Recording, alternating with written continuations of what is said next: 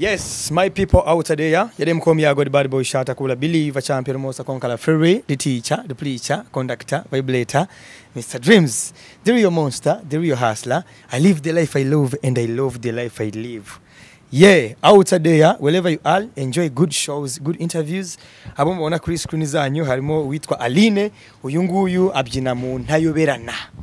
Muramuzi cyane, akaba ari umubyeyi harubatse hanyuma uwo mubona hakurya ye yitwa Hilda. She comes from Belgium. Uh, she been uh, here uh, two years right? Two years okay. So tugiye kuganira nabo azi ikinyarwanda by the way azi ikinyarwanda atari cyinshi ariko she tries she tries uh, a little eh akamenyamo akanyarwanda gake gake. Hanyuma ndagira ngo mpere kuri Aline mbanze mbakire. Ndabakire kuri TV show murakoze cyane yego. Yego. Hilda you're welcome. Thank you so much for How having us.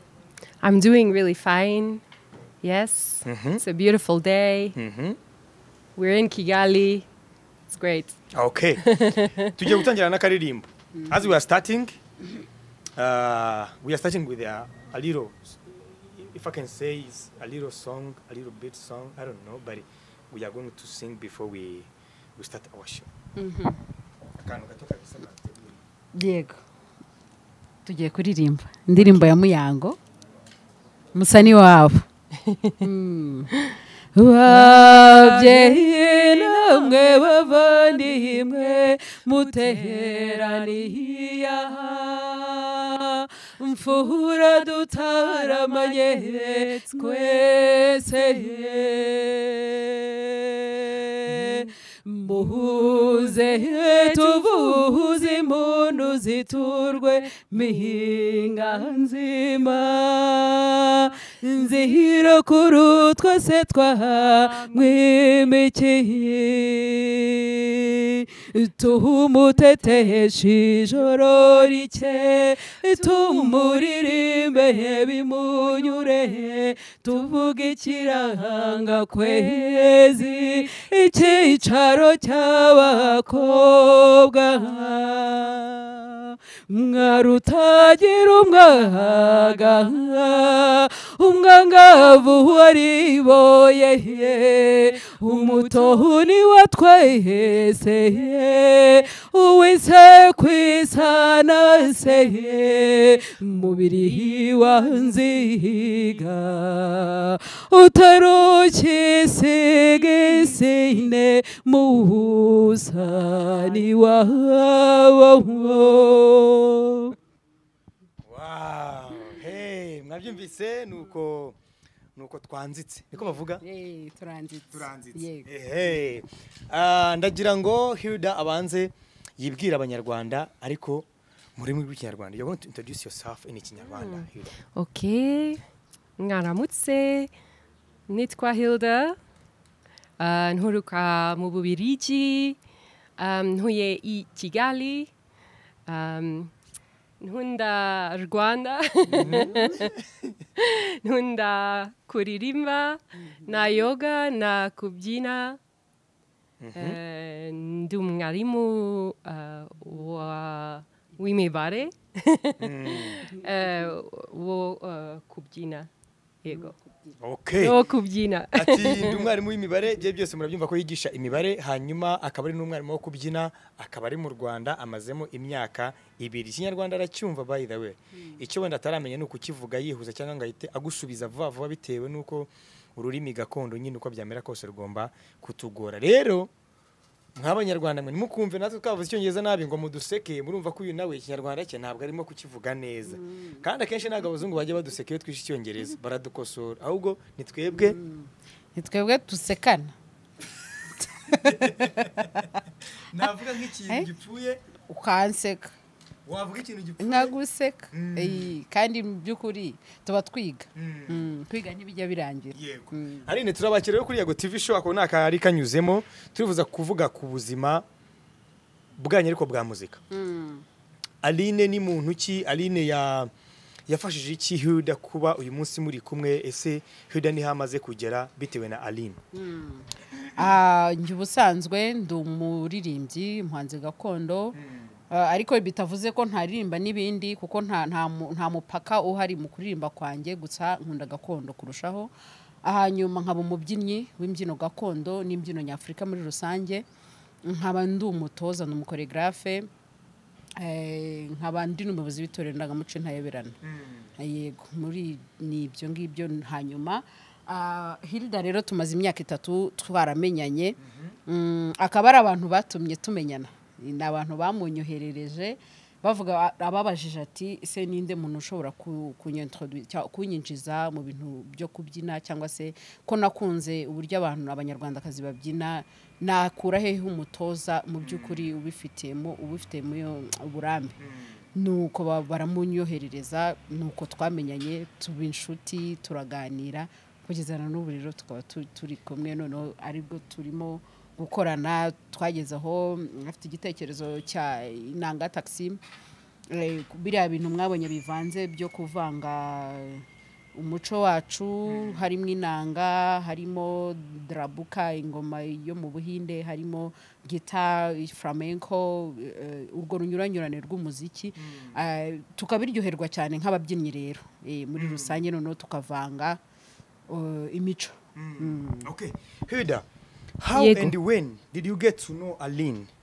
Um, I met Aline three years ago uh, in Rwanda. In Rwanda? I was looking for a teacher um, of Rwandan dance because I saw Rwandan dance about four years ago when I was here and I thought it was beautiful. So I found her uh, through a friend. She gave me her number and that's how we met the first time at Inhaiwerana rehearsals. And the rest is history. Yeah. Okay. Why? Why did you love Rwanda? What do you like to Rwanda? Rwanda country. Um, I came to love the culture uh, through coming here often. So my dad lives here too. Uh, he was married. He's married to a Rwandan woman um, who was living in Belgium at the time. So they got married here in 2006. It was the first time I came to Rwanda. Was 2006, um, and I just came to love the culture. Visiting here every year to see my family, and more and more I was interested in learning the dance. Yeah. Hmm?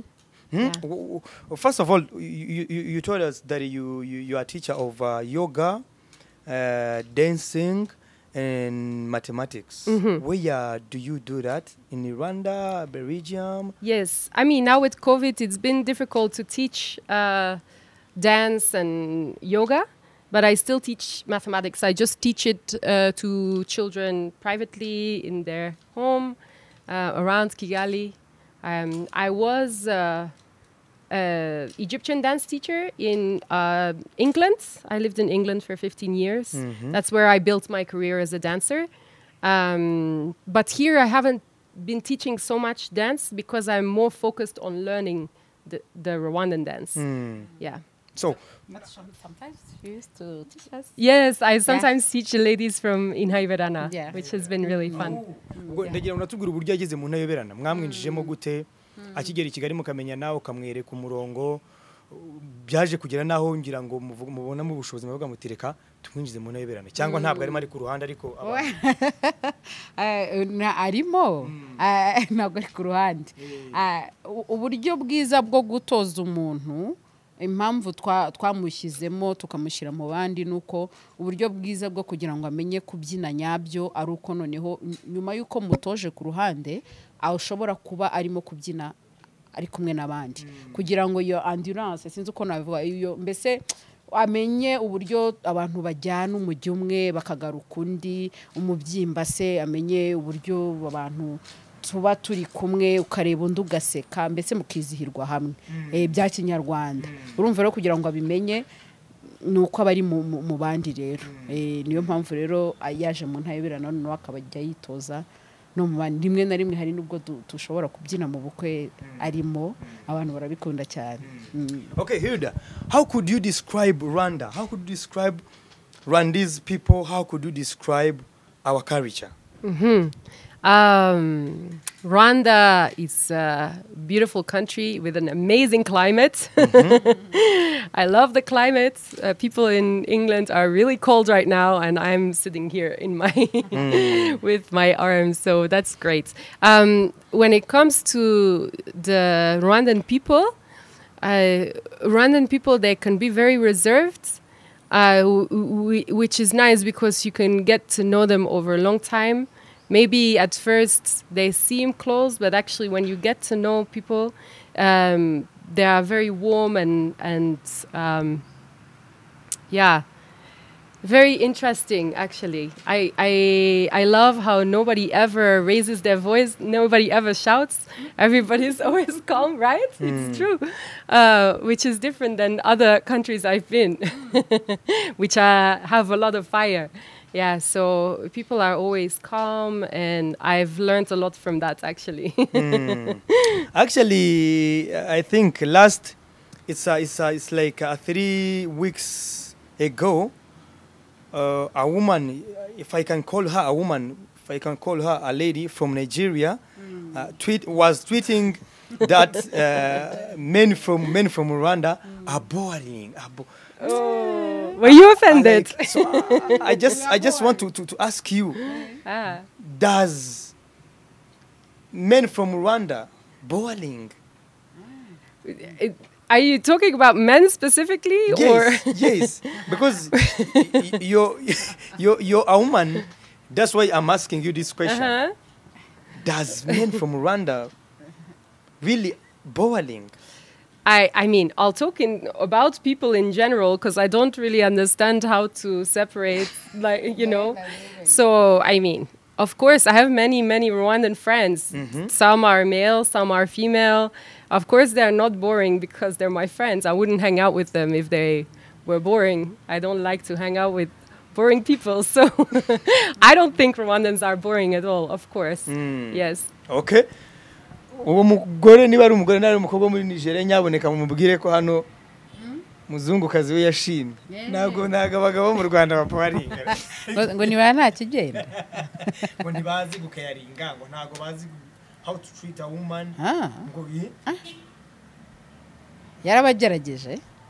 Do we know how to treat woman?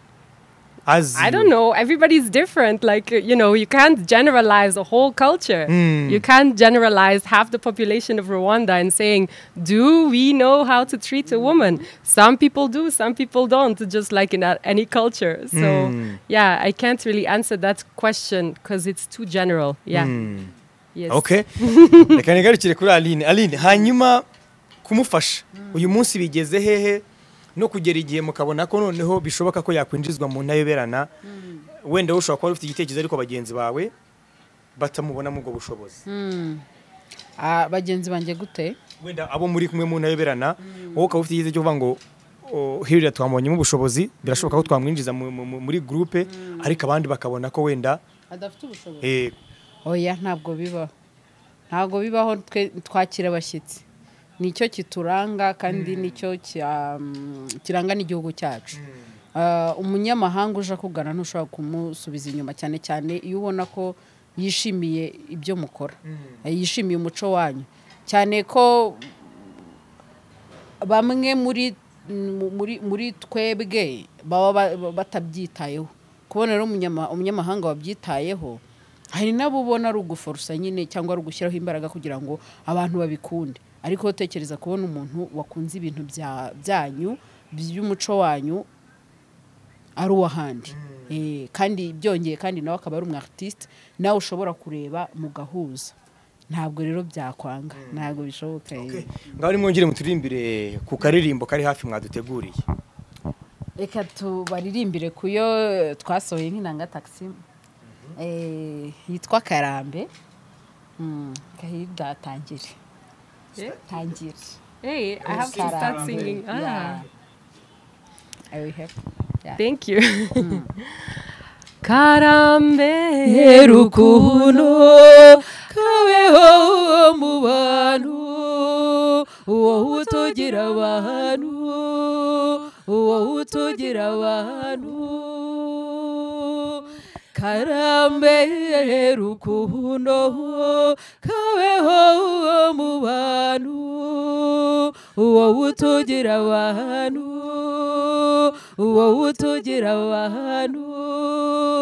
Shenye gahoreho wowe banga ry'ubushuti twese dusabanye yeyo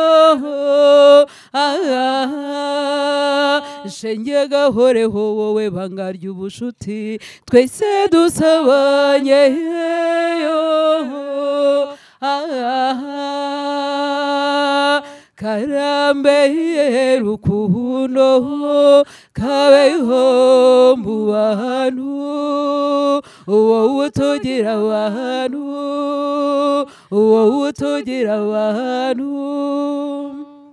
Ako ni agace gatoya. Okay, Hilda, how long it takes you to catch up those words?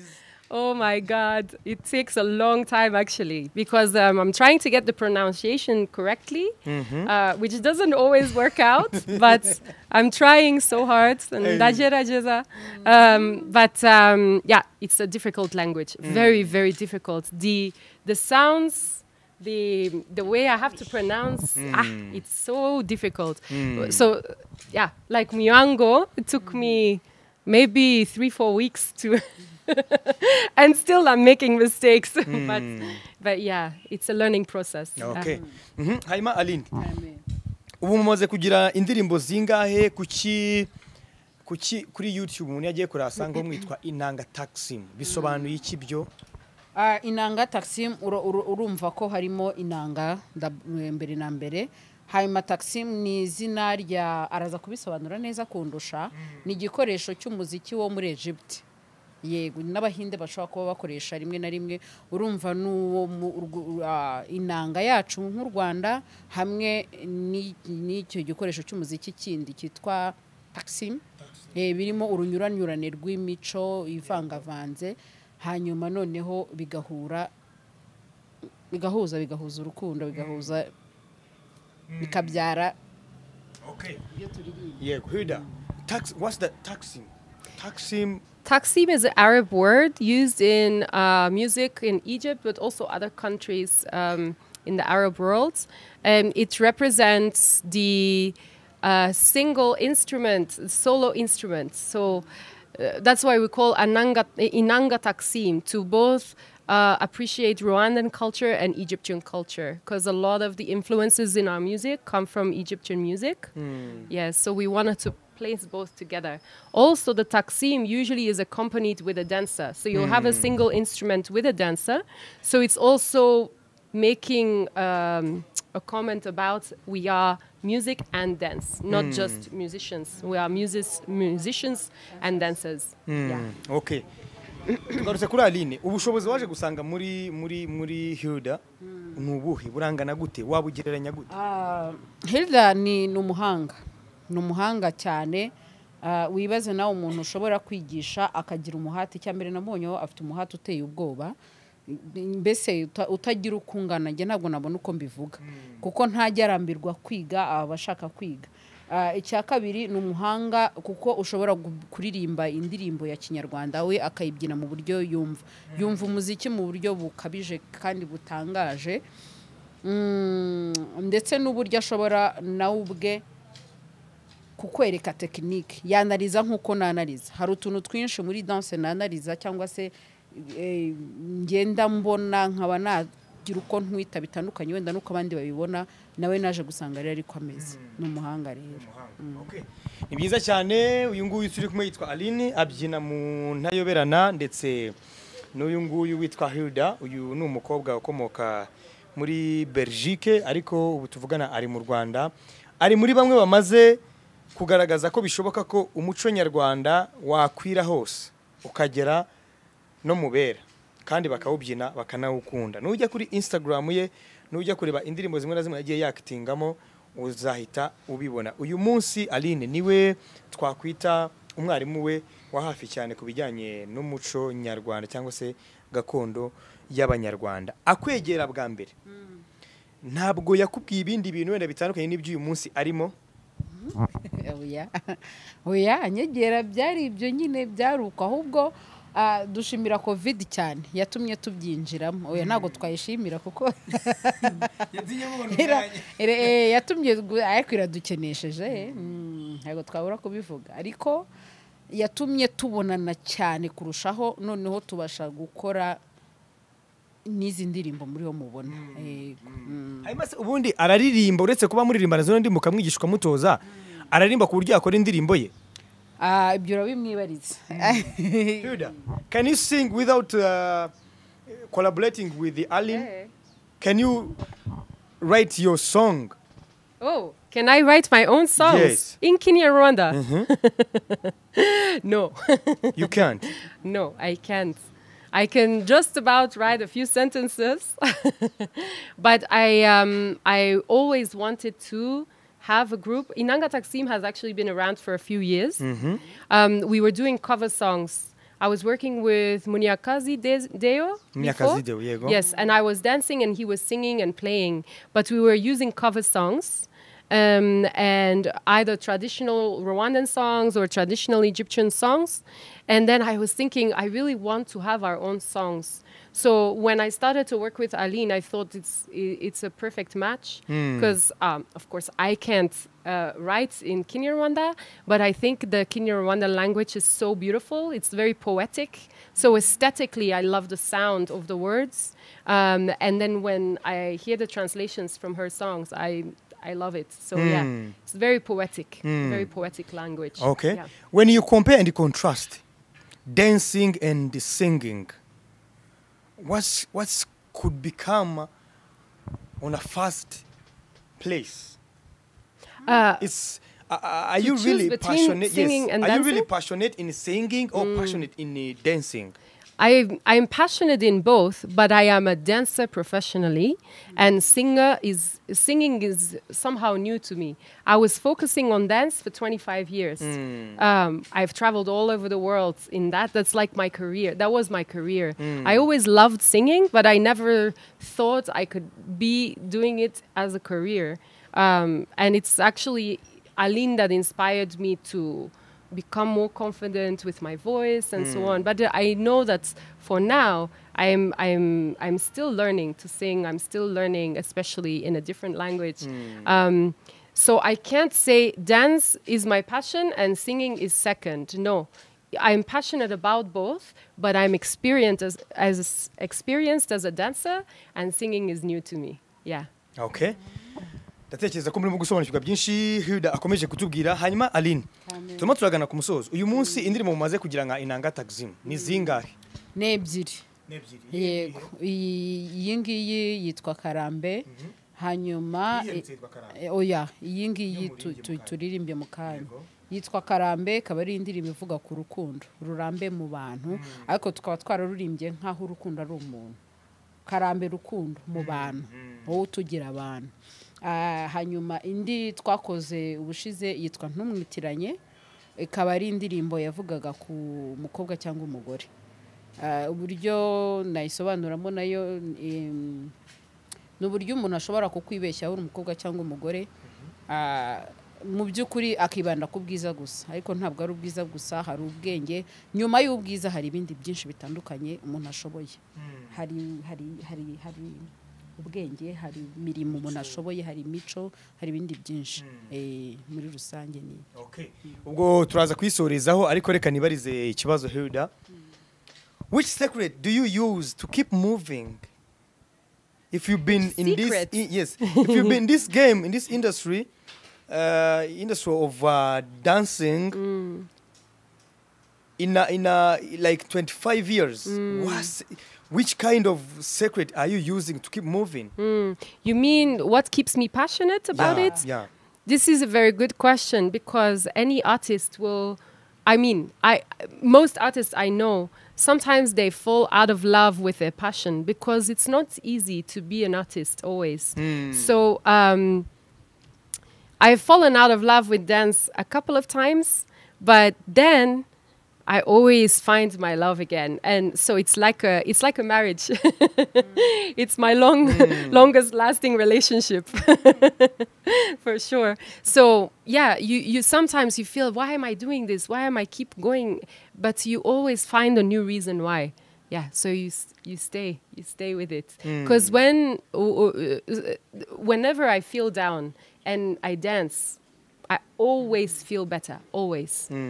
And I don't even want to dance, but maybe I have to dance because I'm teaching that class, and I always feel better. And I'm like, that's why I dance. You know, it's it's like healing. It's very healing. It's like therapy. okay Mhm. aline uretse kuba muri inshuti waranamufashije ibyo byose mwaranaganiriye Ah, hilda arakuruta cyangwa uramuruta mu myaka Eh, niwe mukuru ariko imyaka ntabwo turi buyivuge ariko ni we mukuru. Ariko nta turareshya ibyo byose. Njyewe ntabwo byitaho ibyo mujya kungana tuba abantu nyine wese ni we mukuru kuri jye ariko. Hmm, turahuje. Buriya ikintu cya mbere si uguhuza ra iyo muhuje ibitekerezo buriya ntiba mwanganye se? Hmm. ntabwo imyaka rega ntabwo twayitaho n'ubundi imyaka ni imibare ni imibare n'ubundi tuvuga hariya tuvuga Eh, hilda ibyo turimo kuvuga urabyumva ibyo turimo kuvuga urabyumva Sure. Go ahead. Somehow, kuvuga is speaking. Eh, Uravyumva means do you understand? and then how, say it again in a sentence. ibyo twavugaga mu kanya Ah, I forgot the beginning. No, sorry. You have to help me. okay, sorry.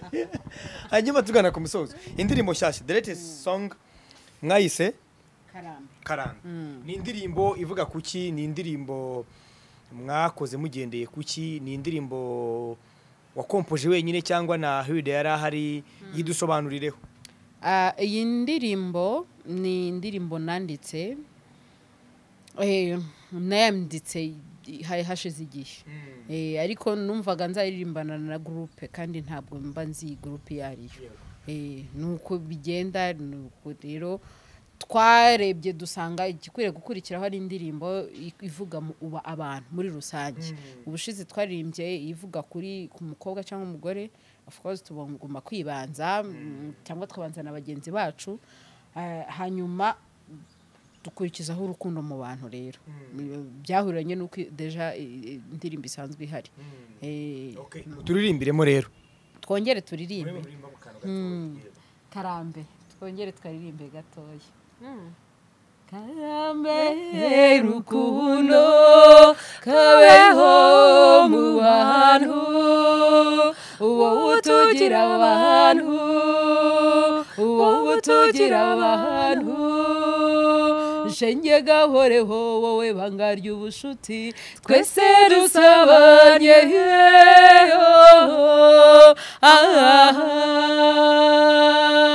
karambe rukundo kabeho mu bantu wowe utugira abantu wowe utugira abantu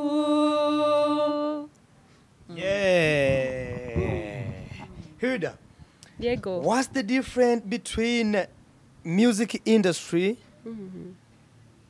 of Belgium and Rwanda if you can try to compare Ah, I actually I can't compare because I haven't lived in Belgium for 20 years. So I I know the music industry as a as an outsider only. So I I, I can't compare the two because I've never been backstage on the other side um, in Belgium. Um, so yeah, I can't really compare those two. So Rwandan, mu- Rwandan music, Rwandan industry, music industry. How do you s- how how can you describe? Um, I'm not quite sure if I understand the question. Can you, yeah, specify? y- y- You see, you you've been uh, in a dancing industry, mm-hmm. but for now you're living in this country. Mm-hmm. You are catching up with the, some people in this game, in this mm-hmm. industry. You're penetrating. You're already penetrated. I think you're already penetrated because you, you you linked up with Aline, and today you're you're doing some interviews. It means you're on spot. You're on spotlight. Okay, So yes. how would you describe this music industry? Uh, what I like about music industry is you have a very big platform. Uh, you have a big platform, but you cre- you can create, for example, when we're doing music videos, you can create your own platform. You can uh, be creative in the way you you want your art to be perceived, but the platform is big and the audience can be big. It's it's for a ma- mainstream audience. When I'm performing as a dancer, usually the audience is small. It's just whoever comes to the theater, right? It's not uh, TV in the same way. So for that, I think it's a, an amazing opportunity to to showcase what we do, what we have, not just as musicians but also as dancers. Because I really, uh, I really love how we can show dance as an art too. Yeah, and we have such a big platform to do that. To to have TV playing our songs. Our songs to be performing on big stages, yeah, that's really where we want to go. okay dusoza rero dusoza aline. Ndagira ngo ngushimire. Reka ngushimire cyane ko wafashije uno mukobwa. Nako ni ni umu- ni umudamu utararongorwa. Si iyo mvugo ya, umubazi Eh, uh, buriya. She's a woman but not she's a married. woman yeah. But not yet married. Yego. Eh, ubwo mu kinyarwanda tugenekereje ni umugore ariko utararongorwa. Tugerageze mu kinyarwanda nubwo atari umugore w'umugabo tuzi we okay ni umukobwa se ubusa twabivuga gute? Yego ikinyarwanda cyacu urakizi. Ikinyarwanda cyacu wa mugani Hagati aho ngaho ntabwo rero birimo neza. Ntabwo birimo wanze gikeni kiracyakeniye Eh, ya, u- u- u- ushobora kubivuga nabi. Eh, bigatuma abandi babyumva atari ngombwa. Atari ngombwa. Eh. reka tubireke. Reka tukoreshe amazina ye. Warakoze gufasha Hilda. Uyu munsi akaba amaze kuba adoptive. Reka mvuge kankoresha iyo mvugo. She's now yabaye adopted. Nawe uyu munsi muri game arimo. ado- adopted. Anaba addicted. Kuri culture kuri culture reka ngushimire cyane ko wamufashije kandi ngushimire ko bishoboka ko umuntu ashobora gufata umuco w'igihugu akawushyira mu muntu ukomoka mu wundi muco cyangwa mu kindi gihugu kandi bigakunda akamukundisha. Ubu icyo- wakoze wamukundishije umuco wacu kandi kumukundisha umuco egare kumukundisha igihugu. Uyu munsi najya muri Belgique azababwira inkuru nziza ku Rwanda azavuga byinshi u Rwanda rufite byiza kugira ngo n'abari hariya bazaze hano kureba byibuze ibyo byiza Hilda azaba yabatwariye turasoza rero muri ubu buryo. Ufite ikibazo kimwe wowe Aline. Urakibaza Hilda mu cyongereza kugira ngo abone uko agusubiza. Noneho Hilda warakubaza ikibazo mu kinyarwanda. Wabyumvise? Ufite ikibazo kimwe? Urakimubaza mu cyongereza. Hanyuma we najya kukubaza reka kubaze mu kinyarwanda. Hilda. I know you're talking about me, but I'm trying to figure out Okay. what you're saying. you have one question. Uh-huh. you got one question. You you gonna ask Aline mm -hmm. one question that you, you want ah. any question that you want Okay. but you're going to ask it in Chinyarwanda. Ah, okay. in Chinyarwanda. Um. Aline going to ask you in English Okay. then we close up Okay. ndakegeza muhita mudusoreza munashimira abari badukurikiye hanyuma nuko ikiganiro gisoza Ah, ah, eh, eh, mhm. My question is this one. Who is your favorite singer in this industry, Rwandan industry music? Um, in Rwanda, Mm. I have a few favorites. Right now, as you know, I, I love Muyango. Yep. I love his music. I'm in love with his music. I also love Cecile Kayirebwa. Yeah. Yes, and I love Deo Kazi. I know I was supposed to say one, but Mhm. Yeah, yeah, yeah, yeah. yes. Um, Thank yeah, you. many. Thank you. Okay. Let me think of a question. hmm Um, Try. okay. Ukunda ukunda inha. inka aha nkunda inka nkunda inka cyane eh eh nkunda inka cyane ngakunda eh, ibiyikomokaho byose eh uwanyoye inka ni uwo nguwo ni njyewe Wonderful. Mm, thank you murakoze cyane Ah, twishimiye kubana namwe eh, tunabasezeraho abakunda ibihangano byacu mukomeze muryoherwe na byo murakoze cyane Thank you so much for watching. Please subscribe to our channel, Inanga Taksim on YouTube. We are also on Instagram, and we're so grateful for this interview. Thank you so much, Yago. bye Bye. wakoze cyane yago